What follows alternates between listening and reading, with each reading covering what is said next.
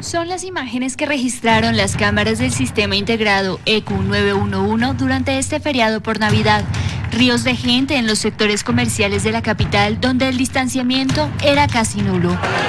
Un factor común entre comerciantes y transeúntes fue el miedo al contagio. Terrible, sí estoy asustada. ¿Pero viene su familia tal vez a hacer compras? No, solo vine a al- a almorzarme allá abajo, pero está bien feuco, así que ya me voy rápido a la casa. Eh, todos los días tengo miedo de salir a la calle porque algún día puedo contagiarme. Me arriesgo por la responsabilidad que yo tengo que mantener en mi casa a mi hija.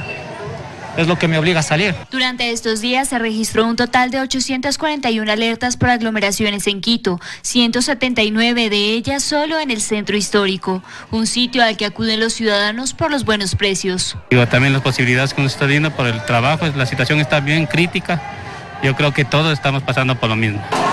Para otros ciudadanos no hay otra opción, pues a diario este es su sitio de trabajo. No tenemos empleo, si no salimos a las calles, ¿quién nos va a mantener? ¿Quién nos va a dar un- una fuente de trabajo? Si salimos a la calle es porque tenemos familias atrás de nosotros. Para evitar un mayor número de contagios, cerca de 5.000 funcionarios participaron en una serie de operativos. El objetivo era garantizar el cumplimiento de medidas de bioseguridad, pero en sitios tan aglomerados es realmente difícil. Pues actualmente tenemos alrededor de 40 policías desplegados en lo que es el sector de Lipiales. De igual manera contamos con los patrulleros y las motocicletas. Fueron levantados 14 actos de inicio sancionatorios, tres por libar en el espacio público en los sectores denominados más conflictivos que fueron la Comuna, Guajaló y Quitumbe.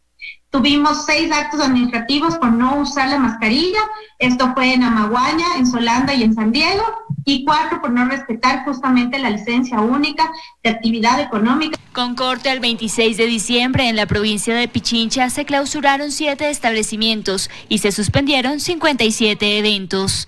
En Quito, Daniela Valencia, 24 horas.